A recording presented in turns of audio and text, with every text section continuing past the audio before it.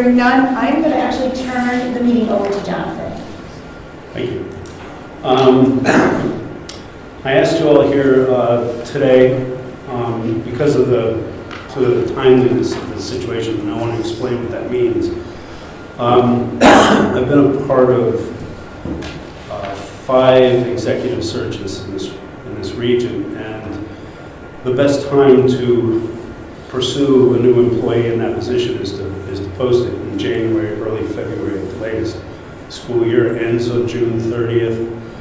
Uh, The new year starts on July 1st. And that's when most of the people make the movements, uh, make their movements. Uh, Also, this type, whatever we're searching for, can take some time because two of the searches I did were for the high school assistant principal and an elementary school. Those are entry, considered entry-level jobs. So um, the pools tend to be wide and deep. But as soon as you go to principal or above, they tend to get very narrow, uh, which makes the search harder and it can take more time. So that's, that's why I felt it was necessary to force you guys to meet so quickly. Um, Before I go too much further, you have some stuff in front of you that kind of shows, this is an initial look into, you know, these two positions that have been mentioned. Um, You have a chart that kind of shows the history of when we've had assistant superintendents, when we've had a director of instruction, when we haven't, and so on and so forth. Um, You also have the current job description, which dates back to 2008.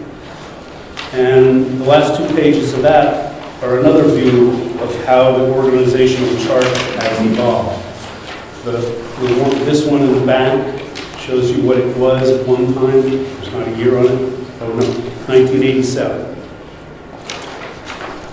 Uh, the one that has the sticky kind of Xerox onto it is essentially what, what it looks like today. So it just gives you an idea of the history uh, of the positions. And that's being looked into in more depth by the superintendent. So depending on how we proceed, you know, there's more information to uh, flesh that out. Um, With an initial look at an uh, assistant uh, assistant superintendent and say a director of curriculum, what I wanted to clarify today from all of you is, is exact what you think you need. Because as John, I'm not going to point out what John has already just pointed out. It's a, it was turned into a hybrid position.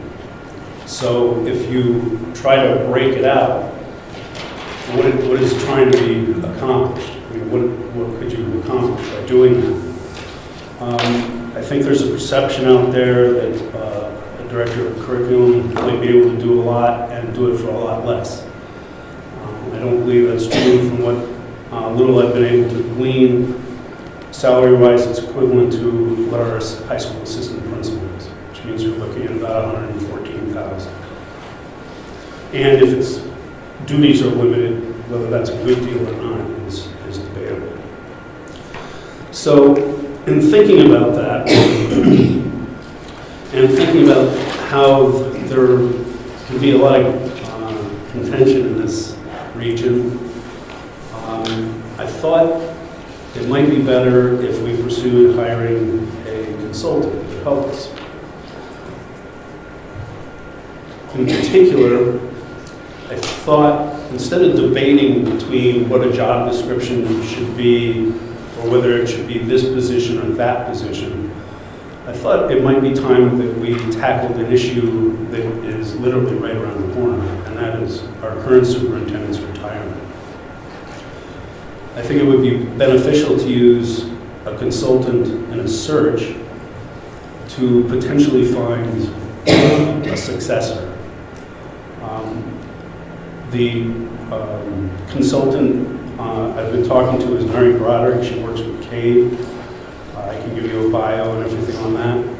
Uh, One of her comments was that there are a lot of people who want to be a superintendent, but not many have any experience.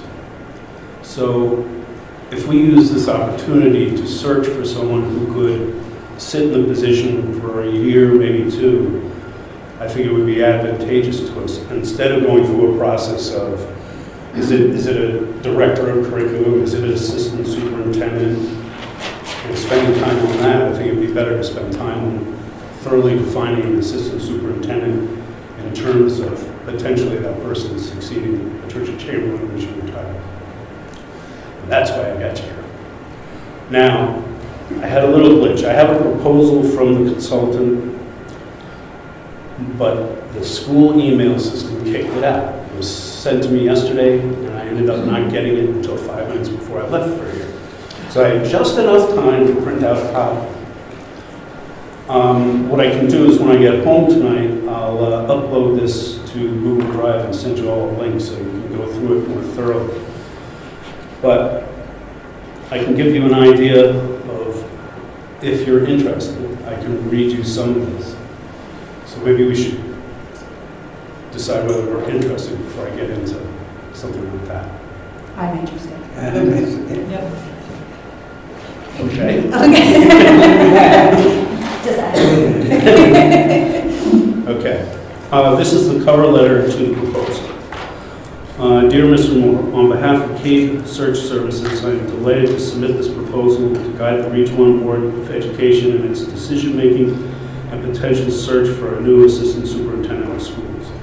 Successful educational systems are led by strong boards working through exceptional education leaders. Hiring an assistant superintendent is among the most important decisions the board will take, will make. I understand the turbulent political nature of this role in Region 1. By the way, she did a retreat for us three years ago. And I'm excited about the prospect of supporting you in navigating these choppy waters. As a member of CABE's team of skilled consultants, I can bring a balanced pers- perspective and enhance the board's credibility with your communities. My work is rooted in a sen- commitment in excellence, thoroughness, integrity, and service to you. I do not come with a process etched in stone, but will work with the board to meet your needs and expectations. That would be the first step of the process. We have another meeting like this, and we sit down and discuss what we think we need, what we want as a result of the search.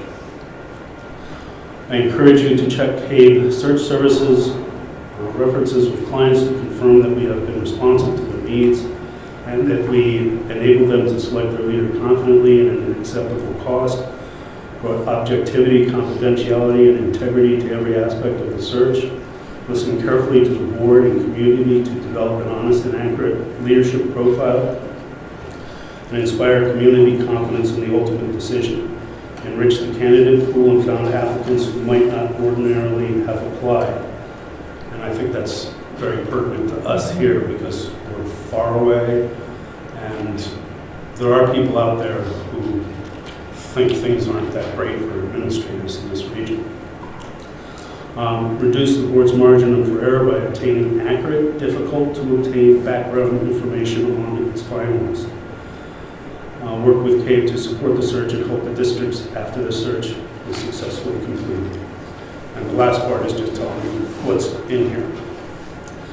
Um, I'll give you some highlights.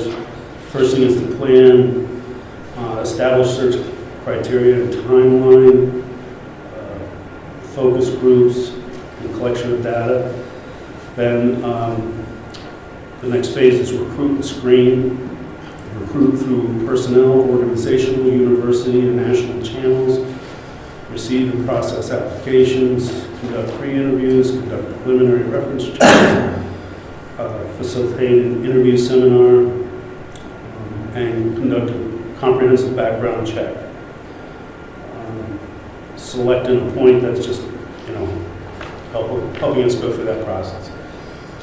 Schedule of search costs. Professional consulting fee for executive search of $1,000. CABE administrative expenses, clerical, printing, telephone supplies, 2,000, for a total of 10,000. Now, Mary told me that um, that would be the minimum. The maximum would be $14,000. And what is involved in that $4,000 swing is how many focus groups and how much travel. So if you wanted to do 20 focus groups the price is get up, get up there. You want to do three or four, we're probably in pretty good sh- uh, shape. Uh, The only other possible expenses is if the background check gets crazy. And then the last part of the proposal is her resume. Uh, There's a bio here if you'd like, I can read that to you. Um, And then there's a list of completed searches. So what I'll, so what I'll do is, start with you, we kind of go through it, and... Jonathan, you have worked with this woman before? Yes, I met uh, Mary Broderick, it was January, or February of 2011, and I, I took part in um, what CABE calls their uh, Leadership Institute. It's uh, six four-hour sessions in Wethersfield. That was a lot of fun, the drive. Um, But she did a uh, presentation on macro management, which was the same presentation I had her do in a retreat about a year and a half later. Um, And then I've kept in touch in the sense that I've run into her CABE conventions or uh, the Leadership Institute. CABE does a summer seminar for half a day, um, that- which is the last time I saw her, actually, was this past July. Um, If you read her bio, she's, she was, she's a past president of the National School Boards Association. She's worked in the state education, Department of Education in the state. Uh, She's well-known and well-respected around the state. Uh, I think, um, I mean, typically she does superintendent searches. But I asked her, would you think about something like this? And I told her, you know, it might be that it's more than just an assistant superintendent, it's a potential, potentially future superintendent. And she agreed to do that and sure that was the way she can. And I think, considering,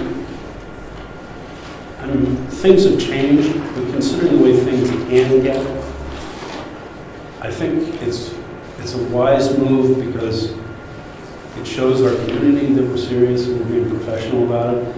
It also shows the people out there who might have a different impression of us that we're being serious and professional.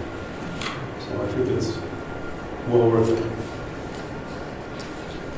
Well, I think, um, Jonathan, I, I feel like we're on the same wavelength here of thinking of bringing somebody in who could then move into that next position and not have to actually do two searches on that level. Although, I think that there's one more step here, we need to determine, like, once that piece happens, what is the, I, I do feel that we need to have another person in that office of the administrative team. And so what it, we need to think about what that would be and how we would get to that following, you know, following step. Does that make sense? I think so. If you're talking about having another person besides an assistant In, in superintendent. time. I, well, I'm thinking, so once we, this person would move into the superintendency, the person who follows, and what that looks like. I mean, it makes sense to have it be an assistant superintendent who becomes a superintendent, but if we're going through this whole piece, do we look at really the duties? I mean, if we look at what the job perform, the job description is, you know, what things were really happening and at what level? Like, I mean, I think we have to relook at that too. Can we do both pieces, do we think? Well, Even if it's gonna cost us a little bit more money, is it worth it to spend the money to do both pieces? Um, I, I'm not quite sure. If, if you, if you go down the path to search for an assistant superintendent, you're not going to say to this person, okay, you're going to be our next superintendent. Right, You well, right, wouldn't- You wouldn't, but but you'd imply that there's definite potential Potential, for, for right. that to happen. If everything works out, and after you've test-driven this person, you decide that, yes, you want that person to be your next superintendent, what happens to the position um, below the new superintendent, Mhm. I think you'd want that person to give you that input okay, in terms of their experience with that position and what they Yeah, think okay. that office needs. Because for us to predetermine a position that we're essentially not going to Yeah. fill until then, yep. I don't know if that makes sense. It seems to me that, you know, take another step back, what are the two positions, to identify what those two positions really are at this point in time? Because without doing that, I mean, I look at the old system, what we have currently, and what could be, and since we need, based on what you're looking for going forward, it makes sense to have those two job descriptions pretty clearly identified. And maybe there'd be one piece of it that could flip from one to the other, should that person transition, especially like the um, contract negotiation skill. I don't know if that's something we have right now, even in in the assistant superintendent. So, um, you know, if you were Well, our looking- assi- assistant superintendent did not do any contract. No, I know, but if I'm looking at the responsibilities, Right. it does say that that's one of the. Well, that's why I think we need to look Right. at it, because that's not happening. Right, well, That didn't happen. Well, we, that would be an example where someone, Right. if they were in the assistant superintendent, if that's what you were looking for, and they had that skill level, Right. they could transition. And that's, that's, that's part of the next step. You are gonna, I mean, this is 2008. You are gonna have to, along with getting the search moving, you're gonna also have to redefine the position, Mhm. okay? Because the consultant can't find, at the end, when she, when, um, when I said uh, she creates a leadership profile, that's gonna tell you kind of the, the person you need, but that is also going to tell you what the position What the responsibility. is, because you will have taken what we all think we need and what the community wants, and you're going to marry it together. So you're going to have a clearer picture, A, of the position, and B, of the type of person you need to get to fulfill that position. But if you don't do that for two positions, you're not going to accomplish that, I don't think. Well, this You have to have is, this is instead of two positions. I mean, if you want a director of curriculum above and beyond this position, Mhm. then that becomes a whole nother question. I don't, I don't know that that's what people are thinking about. I think people are just thinking about the, the name and the salary of what happens in that job being accurate to the job. So that it actually is. So whatever the, um, whatever the position is, that the function that's actually happening in that job of this second, can I call this like, second level administrator? I think what people are looking for is that that title and the salary be the correct title and salary for that position, whatever we end up calling it. I mean, it could end up being super, you know, assistant superintendent, but I just think what, what, um, what I'm hearing is that we just make, make sure that it really is, you know, the job function and the title actually match each other. And there may be a difference in salary based on that. May not, I mean, I don't know, because we haven't looked at it that closely yet. And I'm saying it in too many words. Sorry. No, uh, I I guess I'm proposing a a different approach in that, yes, we have to redefine the job description, Mhm. but instead of debating whether the job description matches the salary, because the... Well, the- when- later.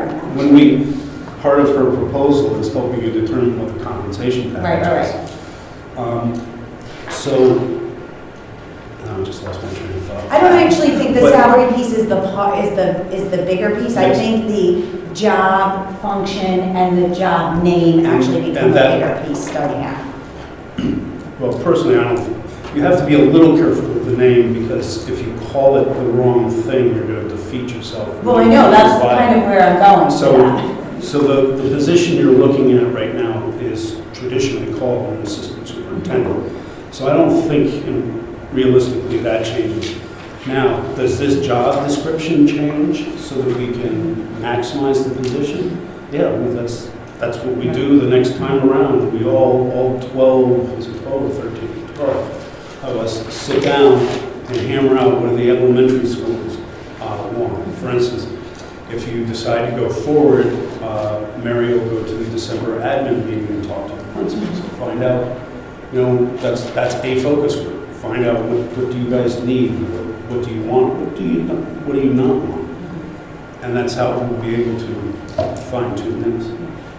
I just think, um, and this I just get basically from reading the local newspaper, you know, but to, I, it does seem that school districts in our region specifically are moving away from the assistant superintendent model. That's why I I question it. Um, And I'm interested in actually getting, and I'm- Mary could probably get us that information, how many of the local, the school districts in Litchfield County, you know, actually have assistant superintendents or have director, directors of curriculum? Because it does seem, if you're just reading the paper, that, that school districts are moving away from that model. And if they are, why?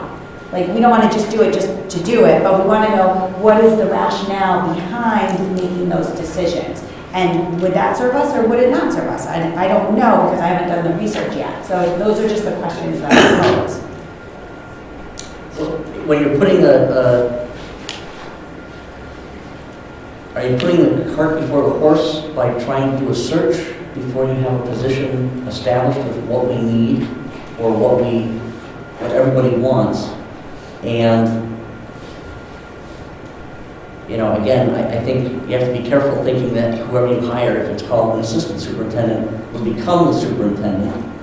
When, when Patricia was the assistant superintendent, and she'd been for a while, they went out on a national search to hire a superintendent, and then lo and behold, hey, she's right here. Mm-hmm. So, you know, the thought process of saying whoever we're gonna hire is gonna move on to that, I think is a dangerous thing to, to assume or to even, It's not, a- it's not, a- it's not an assumption. It's, right, but there are a lot of times you it's might hire somebody who would be excellent as an assistant, and you may not want them as a, as a super. Um, So just, that's, inter- that's just the way I correct. heard this And I meeting believe I go. said that part of the point is filling the position in six months, you have to make a decision on Patricia's future, okay? So if you have, if you have a situation where you're grooming a potential successor, wouldn't that be more constructive? I'm, I'm asking you, wouldn't that be more constructive than just debating this position or that position?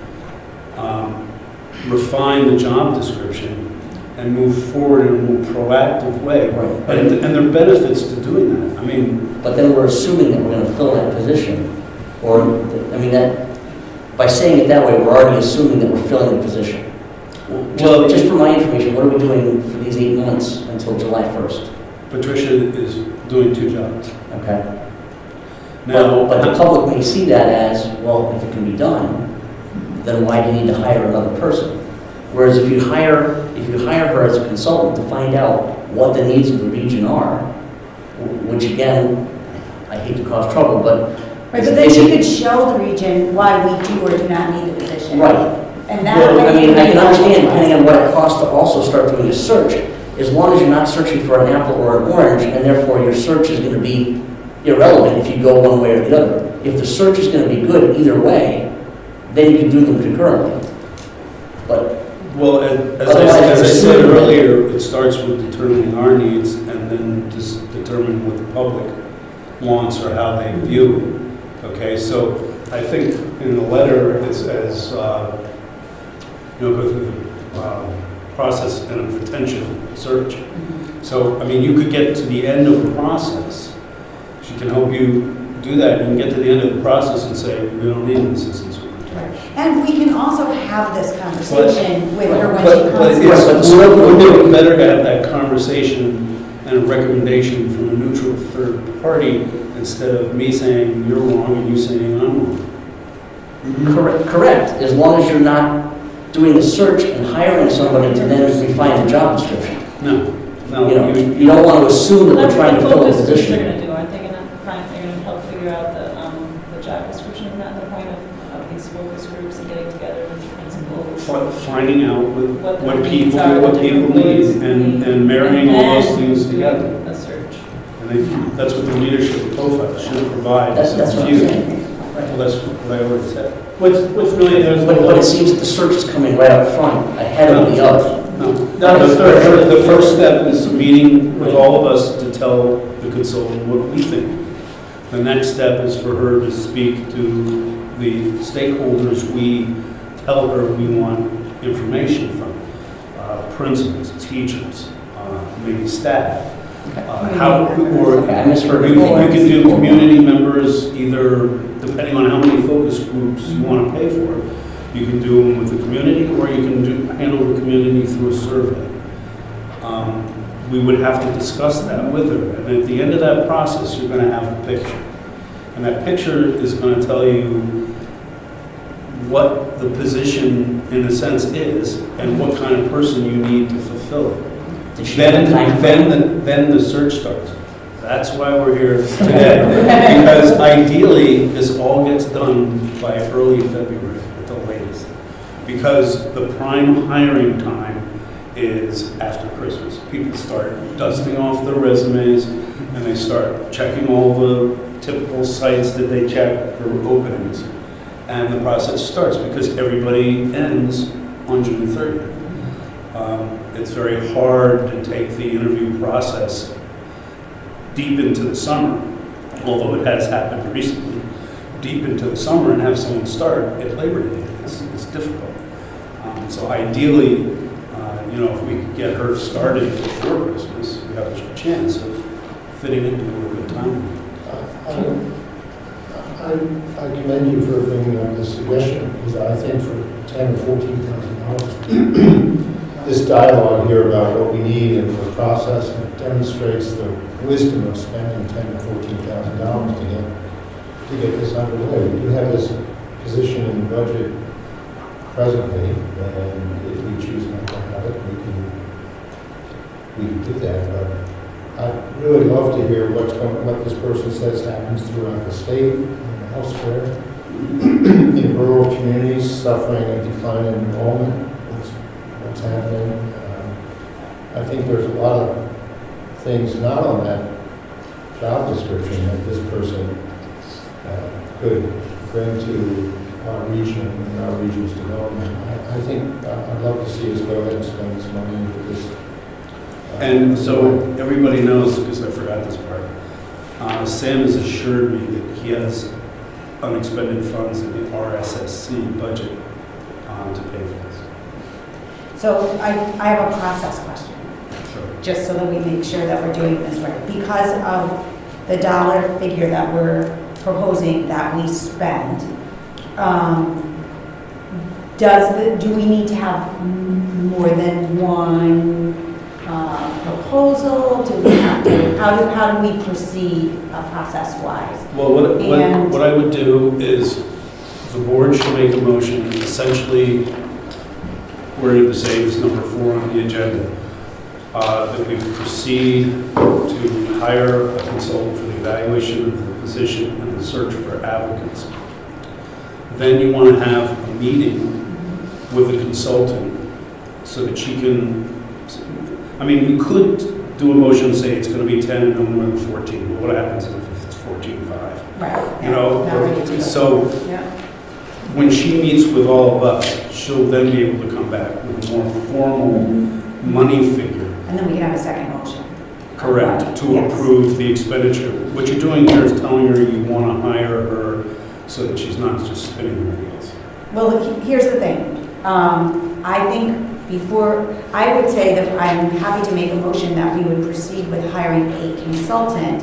I think we should all have her be able to go home and read her, um, read her bio and read, you know, and we need to check some of her recommendations, pri- or, some- yeah, some of the recommendations for her before we um, actually hire, and I would like to meet her before we actually decide to hire this specific um, person. So, um, but I, um, taking, having a motion to hire a consultant for this, um, I think would be appropriate at this time if people feel that that's something that they want to do. Yeah. Are we hiring her as herself or as Cabe?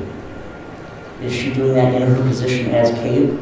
I mean, the, I mean, I just got a brief glance at it, but it said Cabe and this and that, and, I mean, I- is she I would doing that as a suggest- function of I would Cabe? suggest uh, wording the motion is um, as um, moving forward towards a hire of Mary Broderick of CABE Search Services, to be specific.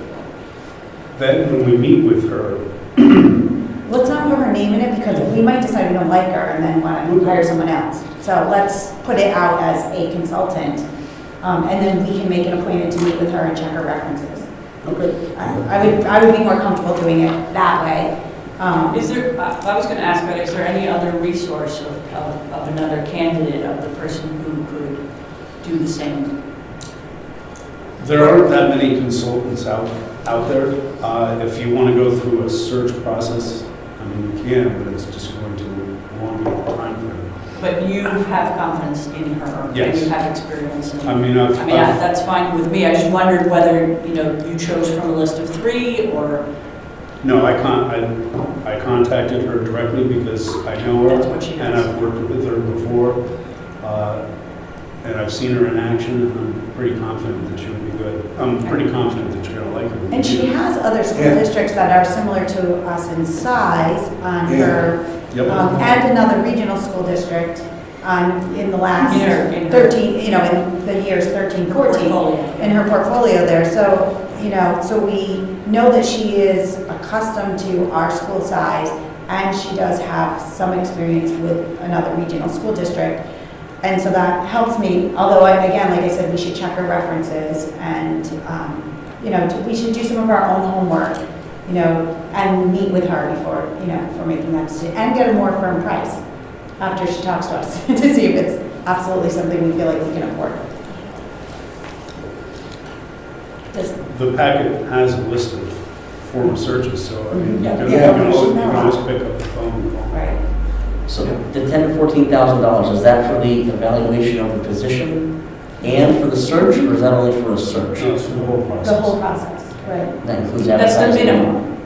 No, no, minimum's ten. No, the Minimum ten- is the ten. ten, the ten thousand is, is the minimum. Okay. You're not gonna, she's not gonna come up here, well, she'll come up here for one meeting without charging, obviously, but once she gets into the process, it's gonna be at least ten. Um, She told me that it shouldn't go above fourteen thousand. But like I said, there, she's got a couple of caveats in there, you know, if a background check becomes Yes. excessively expensive, or if uh, the process of advertising gets crazy, uh, like, let's say you advertise in a proper way the first time around and you get one candidate. So now you have to extend into more expensive Well, some of those advertising. advertisements are expensive. Yeah. So that's why I wondered if that was included in that price.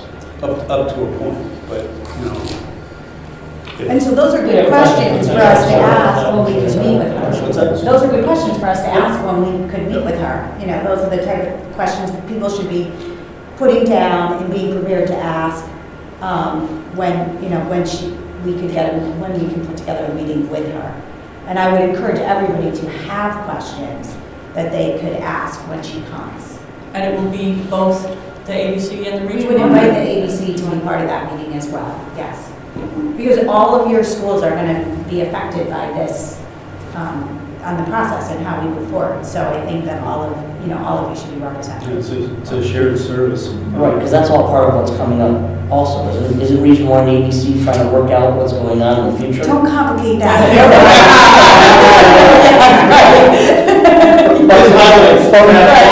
Yeah, but before Region One Yes, you votes were on something today, when ABC hasn't had a chance to talk to the local boards necessarily about it, you know, Well, this come, right, and currently this still sits under the correct. the purview of the Region One Board, so we would make, we would vote on the financial piece of this moving forward, but we don't want to leave the ABC out of the process. Like, we, we want the local boards to, Right, because I think that all Also needs to be be aware. resolved before we hire a new person. I don't think it's gonna be resolved that fast, Brian, sorry. No, yeah, no. It's not. And I have, we can't, we consult her when we meet before, you guys have to make a decision of what consultant hires. Right, yeah, so. What? Special meeting. We have one. If- if- Twenty-four hours. Christmas is 19 days away. I don't I think understand. it's not completely reasonable. it's an important, it's an important subject, and, Um, you know, everybody's dedicated to it. Yeah. Um, John, quick question, do, when they do the search, when you've been on searches before, do they look well beyond our state?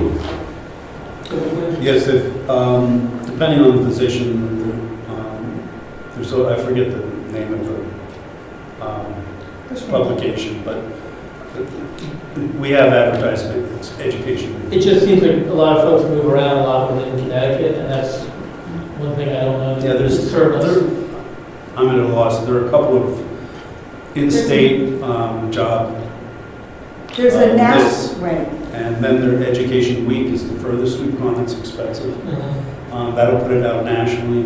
But when you start getting into national, it gets really tricky. I mean, interviews. Mhm. we pay for uh, transportation. You know, it just, Right.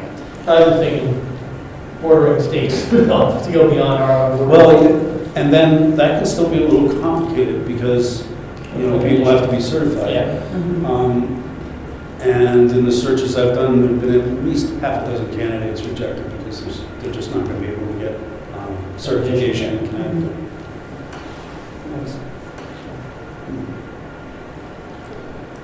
So Andrew, I can't you make make a a motion? Well, she's. I she can't she make the can't motion. But um, I was just going to ask if any Region 1 board member would like to make a motion to proceed with hiring a consultant for the purposes of filling, can we say the vacant administrative position?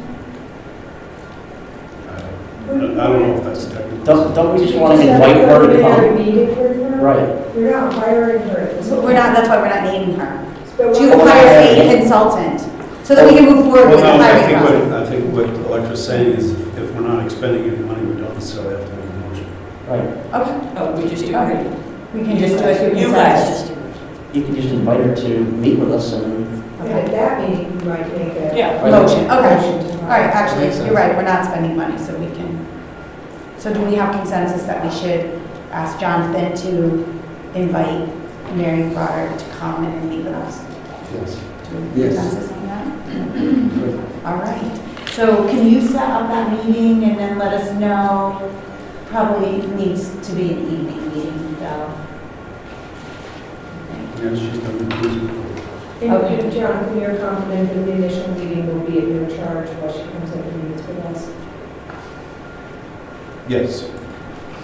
I'll, I'll ask her that. well, especially if she's coming as paid, being members of CABE. That's part of the.